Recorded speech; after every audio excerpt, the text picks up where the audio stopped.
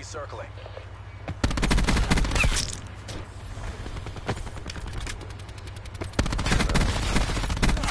Crush down.